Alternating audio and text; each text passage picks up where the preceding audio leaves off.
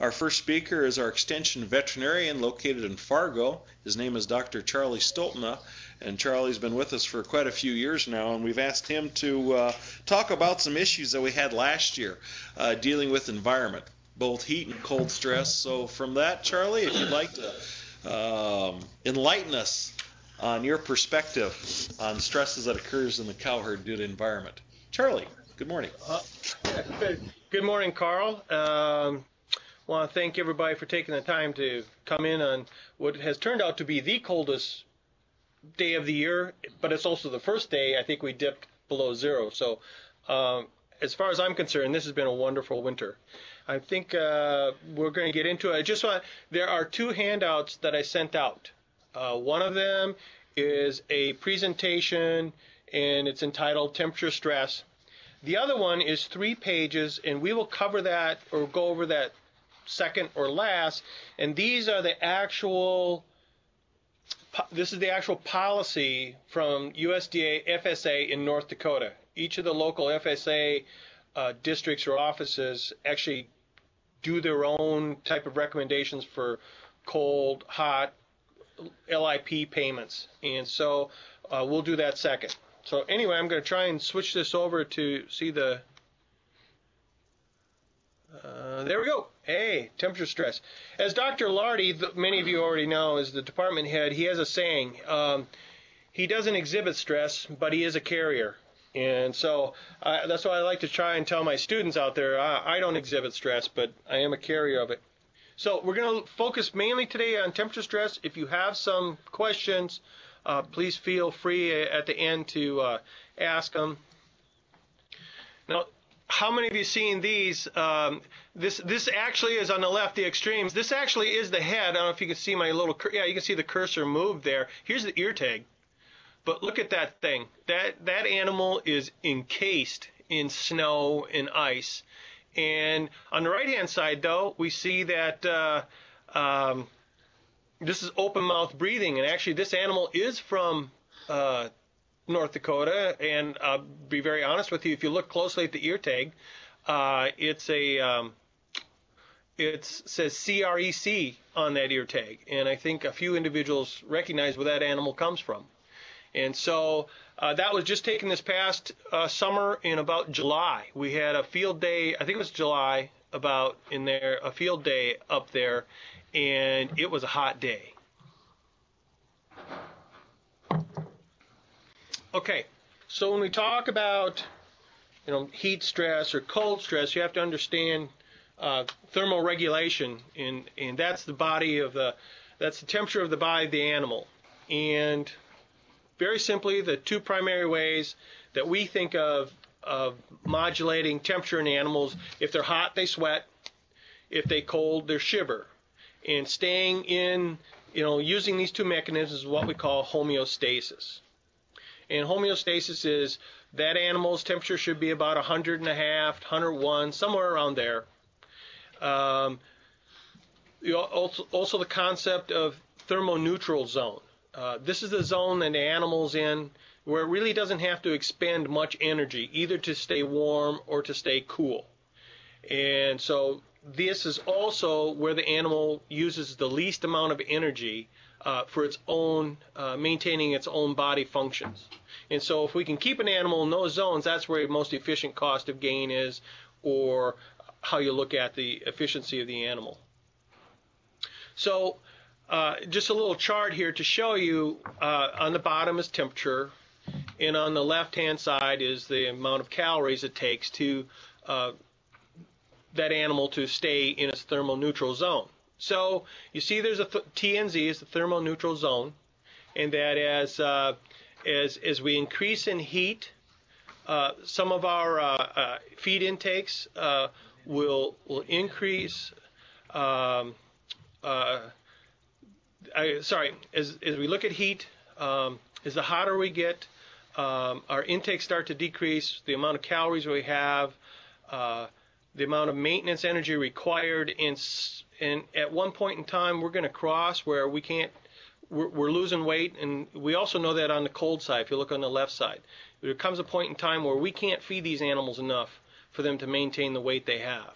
And so that's just the, the concept of uh, thermal regulation and the, the effect of nutrition and uh, trying to keep that animal, you know, in condition, not losing weight, uh, becomes really important in the feedlot and also in our cow calf you uh, herds. So we're going to talk about cold stress first.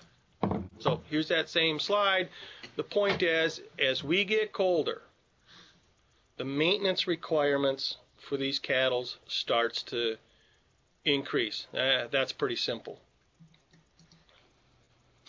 But probably what you weren't aware of, and you know, I, I forget this from time to time, is how sensitive um, these animals are to temperature. We view them as being pretty durable out there. You know, they do, they do pretty well. Yeah, they're doing fine. Uh, Carl and I were, uh, Dal and I were just talking this morning about cattle.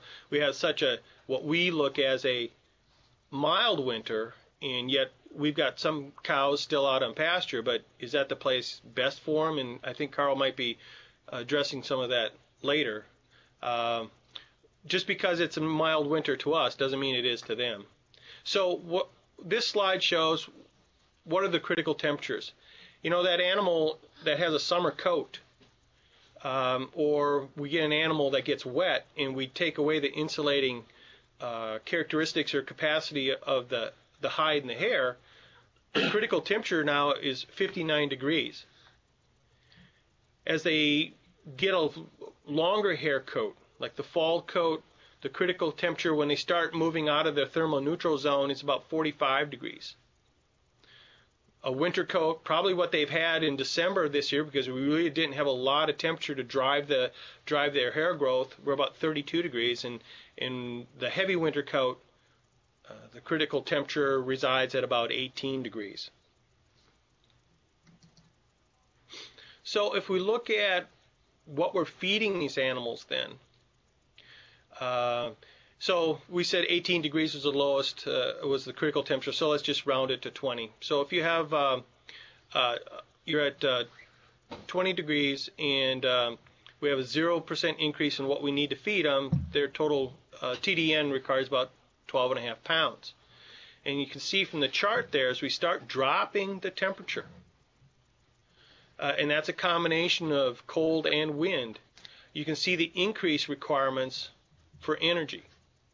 So the example there is that for every one degree below the critical temperature equals about a 1 to 2% increase in TDN. Um, and Carl was reminding me, he helped me a lot with this uh, presentation, so he's sliding a sign over that says, really nice slides. Actually, they are much nicer than the ones he had.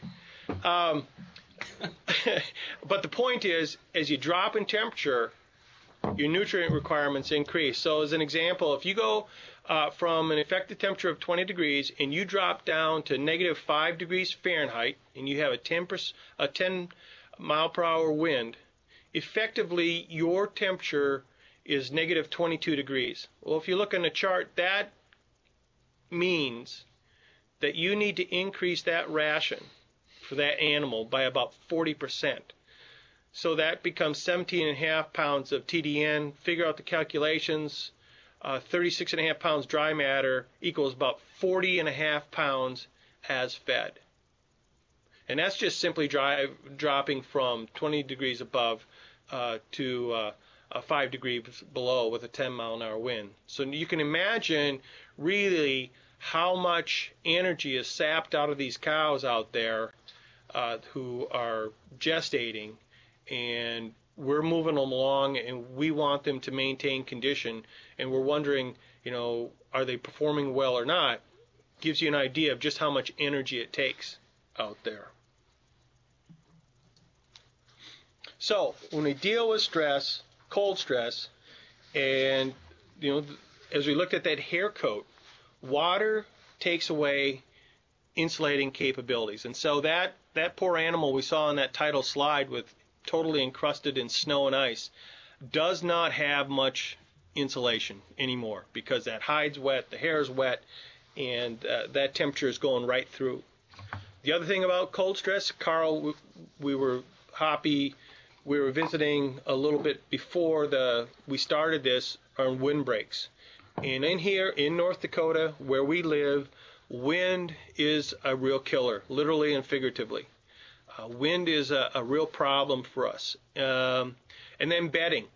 Uh, I do know that there is some debate on whether people should bed or not. I am a big fan of bedding animals. Uh, I think one is I'm going to show some data that came out of Carrington on performance, but two, I think more than that, we're moving into an era that we really have to be good stewards as an industry of how we take care of these animals. And maybe on a spreadsheet it looks like bedding isn't the best way to go, but I that sentiment will not be shared by the people who buy our products.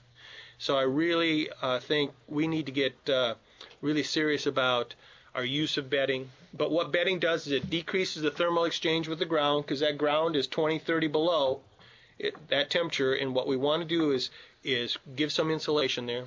Two, it helps the animals get down, allows because if there's no bedding, they don't want to lay down.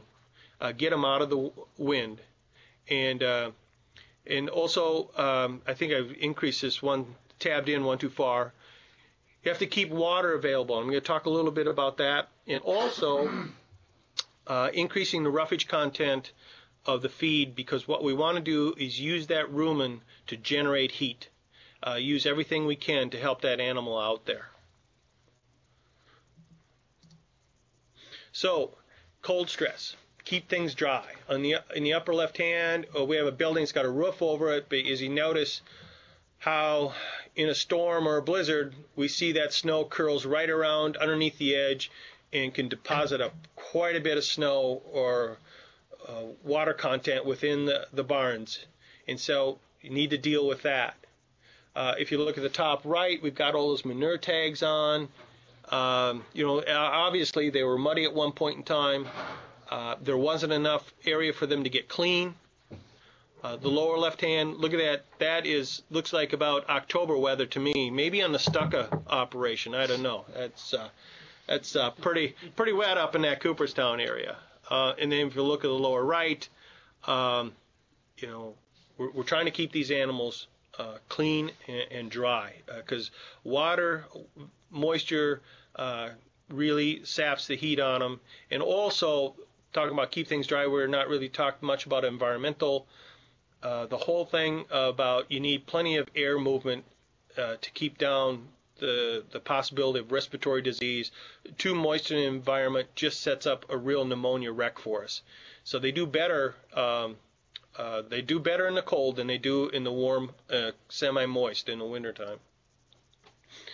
Uh, this this research comes out of uh, Carrington, and we looked at uh, these were um, on the upper left hand. Look at average daily gain. The blue, there's no bedding. The yellow is modest bedding, and the red is generous bedding, and that's two times modest. And they were using growing heifers fed October through March. And if you look at an average daily gain, yes, uh, there seemed to be uh, more gain with the bedding. Uh, but if you look at net return on the lower right hand, the cost, well, if you didn't bet, there was no cost there. So your costs were, to me, were fairly minimal. And in this year, uh, the year that this was done, the cattle market was good and it was profitable. Uh, um, so again, you can also find studies out there that say, well, bedding may not pay, especially in a, a feedlot top, type operation. Uh, that may be, but again, I think we have to take more into consideration here than just the strict pennies and dimes. Another thing about cold stress, as I said, is is to block the wind. And uh, we've seen way too many pictures like we do on the left. You know, that's a cold environment. On the upper right hand, uh, this operation is using um, round bales in kind of a temporary fashion. Actually, I'm a big fan of this type of uh, uh, windbreak. And one of the reasons is is it fits into North Dakota because we have the extremes. We have extreme cold and we have extreme heat. In the extreme cold, we want uh, a windbreak, and in extreme heat, we don't want anything to impede a wind movement. And so anything that we can put a windbreak, but also have the ability to take it down or move it, uh, so we don't have it in the summer months, I view that as a real positive. on the left-hand side is a little more uh, durable, uh, made with steel and piping, which is good. However, I think you're going to find, uh, depending on the location, a fence like that could also stop and hold a lot of snow right in your operation or right in your pens, and that that's a real downside to a solid type fence.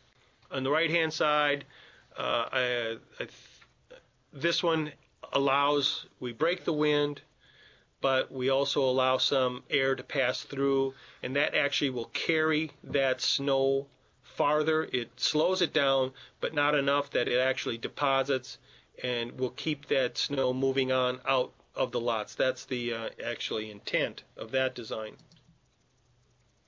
So if you look at the upper left-hand picture, the, the use of the shelter belt, and again, before we um, started this uh, presentation, there's a little discussion. The question is about how high do you need for a windbreak, and and the other way to look at this, uh, this this chart shows that the wind is moving from left to right, and so in that purple zone, uh, just before it hits the shelter belt, um, so if you have trees that are 30 feet high at about 300 feet high to about 60 feet out away from the shelter belt, that that speed of that wind is 65 to 95 percent, and then it drops to about 35 to depending on the velocity all the way up to 95. But as that w- wind goes up over the trees, you'll notice that there's actually a zone of turbulence from about 5 to 10 times the height of the shelter belt.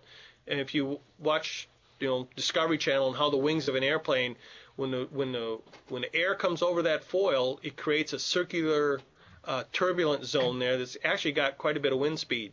But then there's like a sweet spot from about 10 to 15 times the shelter belt height where it's the most calm. And then out past 15 to out that 30 times the height of the shelter belt, now we, we have reduced speed, but they're starting to pick up again.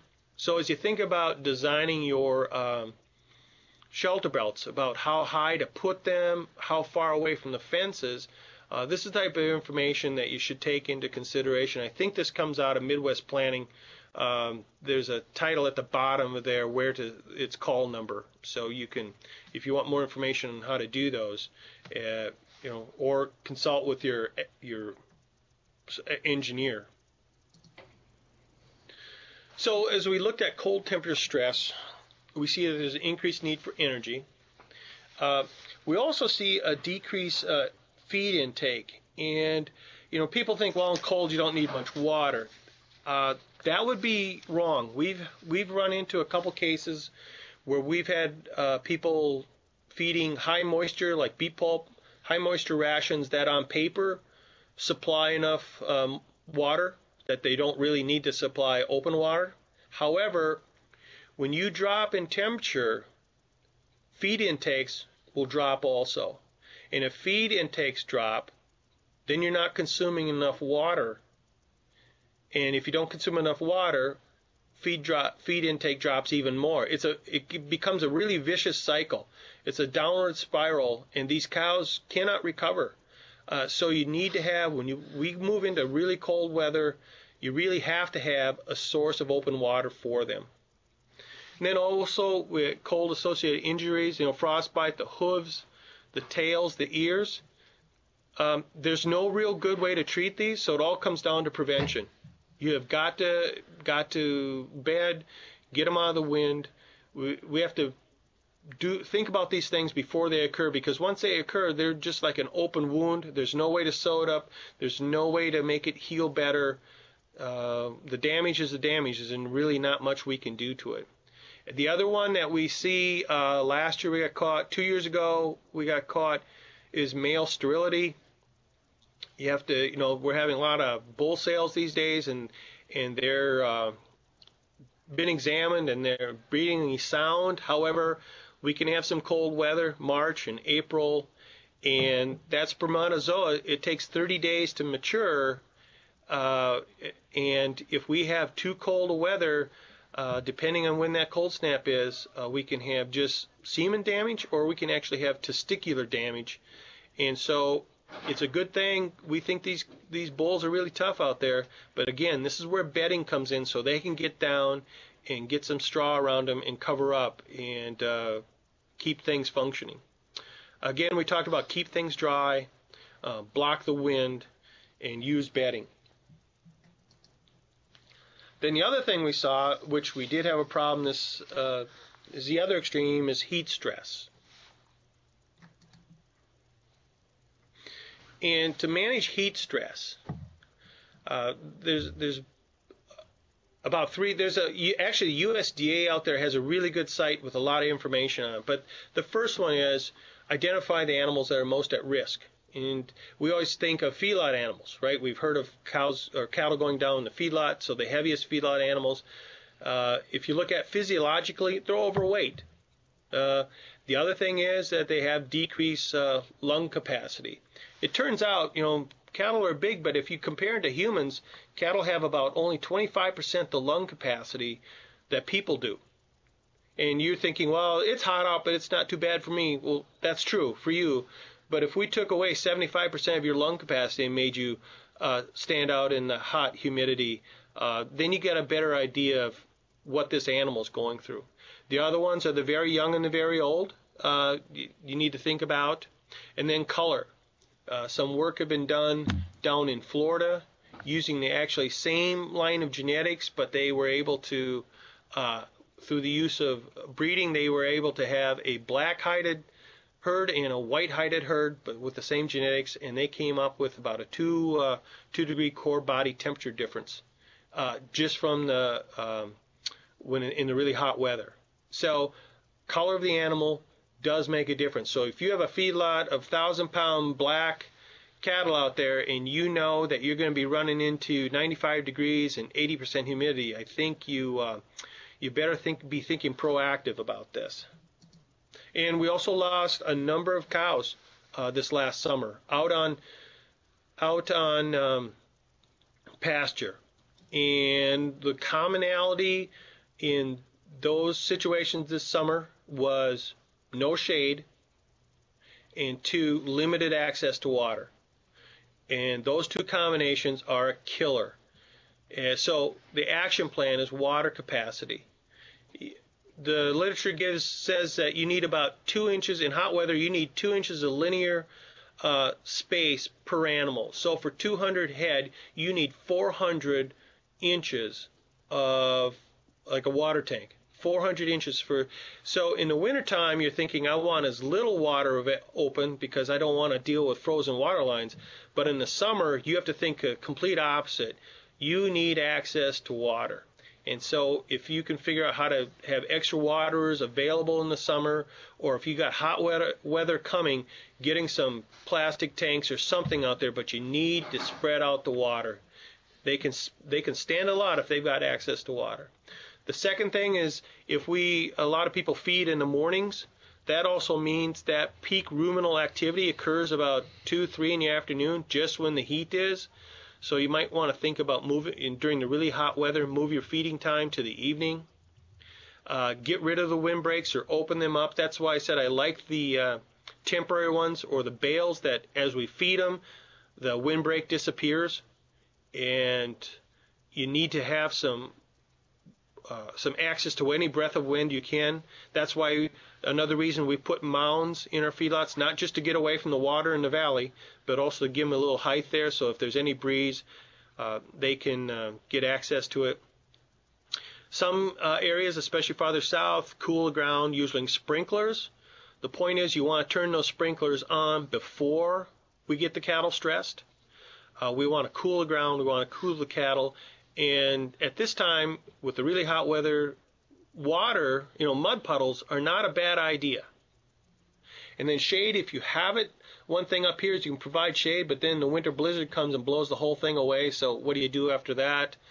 I know that uh, I can tell you from personal experience. My brother runs a um, thousand head feedlot, and what they did this past summer was they actually opened the gates and put them under the trees uh, to move them out, and they moved them out early when it was cool. They did not move them.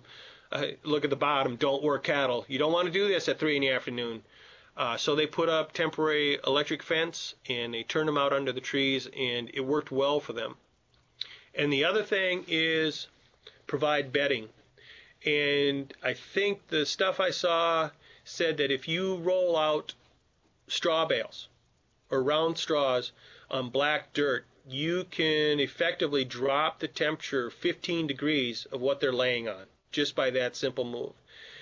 Then you can also uh, wet the straw down, but I think the the operative word here is wet down, not soak, because if you soak it, then you take away the insulating properties of the straw, and you're going to get, you know, that hot heat is going to percolate right out of that ground, right through that uh, uh, straw, right into the animal again. But the idea is, what we want to do is we want to give them as much temperature relief any way we can. And so bedding also is a good way to do that. And again, do not work your cattle. You're too late if you got to respond at three in the afternoon to something like this. And then the other step three is know when to intervene. And this is driven by temperature and humidity. There's a heat index. And actually, I've supplied you with the heat index and also the frost or the the uh, the cold index, for lack of a better term, in that other handout. And we're going to talk about that a little bit. However, the heat index, it's cumulative.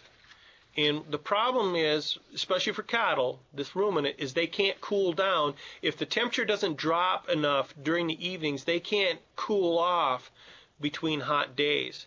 So if you look at the USDA livestock, uh, the LIP program eligibility, the way it works is uh, they will they will allow a claim if the heat index was greater than or equal to 75 for 72 hours. That's three days prior to death, or the heat index during the 48 hours prior to death was no lower than 79 during the day and no lower than 75 during the night.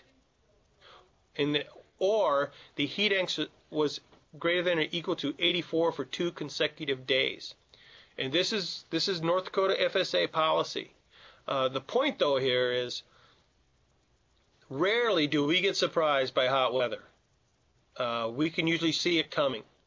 And so these are the things you need to get ready for instead of trying to react to uh, at 3 o'clock in the afternoon. We know they're coming. Uh, we need to get a game plan together here because prevention, we need to pre- prevent it rather than react to it. So here's some pictures of you've seen this heat stress is normal. This this animal's in its thermal neutral zone. It's it's happy. Stage one of heat stress is elevated breathing rate. They're, they can become restless. Uh, they increase time standing. Okay. At stage two, we have uh, elevated breathing rate. They start to drool. The saliva starts coming out of their mouth. Again, they're standing, they're restless, uh, they can't get comfortable. At stage three, we still have the the breathing rate is up, excessive drooling now. It's it's no secret.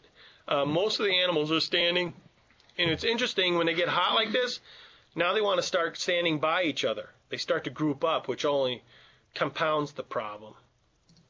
At stage four, uh, we have the breathing rate. Now we got open mouth breathing. Uh, they're drooling. The animals group together. Stage five. Now we actually have abdominal breathing. You see the sides back by the rumen, be, beyond the, the, the rib cage and the abdomen area. That's moving in and out. They are trying to move air as fast as they can. The mouth is open. The t- tongue is sticking out. They're drooling. They're standing, restless. And then we're almost to the bitter end. This is stage six. Open mouth very abdominal breathing, labored, their head is down, and these animals have gone off by themselves to die. They move away, and we're way too late in the game on these. And you got to be really careful on these. These are not the ones you want to try and get up and run around at all. Uh, these these ones are you know can you, without spooking them, can you put shade over them? Start blocking that heat on them. Uh, but we're too far here. We should have intervened before we got to this stage.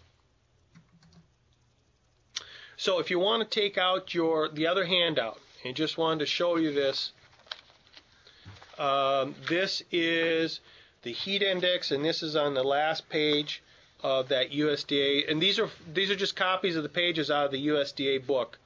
But notice this is how you figure the heat index, and uh, we looked at uh, 75 or greater. So if you look at a heat index at 75, you could be the temperature is only um, 81 degrees dry bulb and your relative humidity is 50%, you'll hit that 75 uh, heat index. So if you're at that for three days, uh, this is where USDA says, well, we we were you know they'll consider uh, eligibility here. And then if you look at the daytime heat index reaches 84 or higher for two consecutive days, well, so that would be about 92 degrees Fahrenheit at about 55 percent relative humidity. So that's how you read that chart. And then this other one, the wind chill chart, this is the actual chart on the first page of that handout. Uh, the second website is there's a calculator. It says this is that actual chart. This is the chart USDA looks at to determine what the wind chills were in your area. And they have the NDAWN stations are located across the state. So if a producer out there is going to make a claim or anything like that, they can actually go and those NDAWN stations, this is what USDA will access uh, to look, th- look up that uh, eligibility criteria. So I think that's the last. No, no, we got one more. Yeah, see, and and that's and this is the way Dr. Stokka takes care of his cattle. Um, he has rented some land, some beachfront on Cabo San Lucas. He flies the cattle down. Um, usually, in the beginning of November, they'll come back uh, about May 1st. And uh, no, so um, I'm done with mine. I if we have any questions, I'll try and answer them. Um, the thing about my position, I like to really engage others and defer. Basically, I don't know the answer, but I have three others here that really do. So uh, let me, uh, we'll take it back to you, Carl. Thank you, Charlie. Um, I have a question for you when it deals with the heat stress, and we'll I'll ask this while other people are asking or figuring out if they have any questions to ask, so they can ask. How long does it take a calf to go from in North Dakota and some of these hot days that we had last summer? How long does it do you expect to take him to go from stage four heat stress to, to stage six heat stress? It, it's going to be. There is no thumb uh, rule of thumb because you have the difference in environmental conditions. Um, I, so. Uh, if you have a stage four heat stress at three o'clock in the afternoon, are we going to see stage six? Sta- I can't say this. are we going to see stage six before we get some evening cooling? I mean, that's the risk people have dealt with over the years up here. It rarely gets that hot enough to see that much heat, but last year we got caught in a few areas. So right. I'm trying and, to get a feeling for for that. And and the answer comes back to every animal is going to have a different biological susceptibility. Some are able to be more heat tolerant than others. So no, I can't give you a time because that's the progression. If they have any, uh, I do remember when I was young, we actually had some uh, cattle with Santa Gertrudis in them in our feedlot. We're just trying them out. And in the summertime, man, they handle the street, the heat so much better. So I can't it, you've got too much genetic and biologic variability to give you a rule of thumb. But I will ask Dr. Stokka, since he's got more feedlot, uh, uh, any idea. But uh, uh Do- Carl Dahlen also mentioned, he says, it also depends on what the previous days were. Because remember, they have to be able to cool down in the evening. And if you've already had two days of this, you got you got a big problem. Versus if it's the first day, you know, you might be able to get away with it. yeah, Carl, I think that's right. I, I mean, if the conditions remain what they are, when you've got one in those various stages, they will continue to progress if the conditions remain what they're what's causing in the first place. I mean, if you can possibly get a little cooling in there, if the wind comes up, or if you can somehow cool them off with a little sprinkling, it changes that whole equation but the progression is in place, and if it if the animal is unable to dissipate its internal core body temperature, then you will progress. But I have no idea necessarily. I can't give you a real real answer as to how quickly that will occur. And and like Charlie says, each animal is going to be a little bit different. Are there any other questions from other some of the other locations? I have one here from. Question uh, I have is that if once you start seeing that panning, I mean, how do you? I mean, if you haven't got shade available, is your best bet to try to get a water truck with a hose on them? Can you shock them? I mean, how do you try to bring those animals back and, and pull them back from from death's door? I mean, I mean, I know that once you get them in that last stage, you're probably, or they're probably already dead. But but how do you try to bring them back when you start seeing the panning and those signs?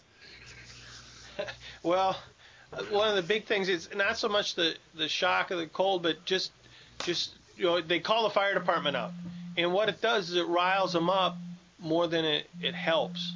Yeah. And so, um, like I said, if you can, if if you can just get more water in the pen, you know, and if they can get up on their own and start to consume some water, or if you've got it, hopefully you don't have 50 of them laying out there. If you have just a couple of them, you know, some type of temporary wind uh, sunshade just to take the heat off of them because they're going to be pretty lethargic. I mean, if you approach them and they get up, well then get some water out there. Give them access. Try something there, but don't don't. I don't know. I'm not a big fan of calling the fire department out on this because you also get a lot of people who like to get things riled up, and that's the last thing you want to do. We have one other question. Go ahead. Was there another question? No, I was just going to ask uh, Jerry because he does a lot of work down in Kansas and Oklahoma and how they handle it down there. You know, one of the disadvantages that we have compared to some of those high plains feed yards is that that gets us is the humidity issue. So a lot of those feed yards in western Kansas and Oklahoma and Texas, they can handle greater heat uh, because they don't have the humidity. The, the thing that gets us is the humidity deal. And um, I mean, desperate desperate situations require sometimes desperate solutions. And when Charlie mentioned turning the cattle out, I mean, and I know not everybody can do this depending on the size of your feedlot because now you've got pens mixed up and everything. And it's, it's chaos. But you have to start thinking in terms of populations. Okay, I'm going to lose some cattle here, but can I save the majority of them? And I'm going to lose some efficiency and some gain for a while. I mean, that's the kind of thinking you have to start um, putting into place because otherwise you're going to have 50 dead ones or 100 dead ones or more. And so that turnout so that animals can take advantage of just some simple things like shade and or wind can make all the difference in the world. Uh, question, uh, if you're breeding during some of this hot cycle, I'm taking they're not breeding, you're gonna get some open cows, um, you could exasperate I'm, imagine your bulls aren't gonna feel much like riding those cows. Oh, actually, we saw some uh, some of the evidence this past summer. Is uh, Carl Dahl and I did a little kind of a quick study with some of the local or the veterinary practices out there, and the first breeding cycle went pretty darn well in June. But when we came back and looked at the pregnancy results out of those the next two cycles in that July August, uh, they took a real beating. Carl, you any more comments on that? well, depending on your, your breeding management too, if you're trying to use an uh, artificial insemination or something like that, I mean, we, we ran into pretty much a train wreck this year because um, we had one of our breedings scheduled for those hot days. So in the morning, those cattle that we bred there, they were fine. Those ones that we bred in the afternoon, their pregnancy rates got cut by about half, and you could feel this going into those cows. You could just feel that they were hot and anticipate there was going to be problems. And like Charlie said, that followed all the way through with the um, the bull performance during those peak days. And that's not necessarily just a function of those bulls not doing their job.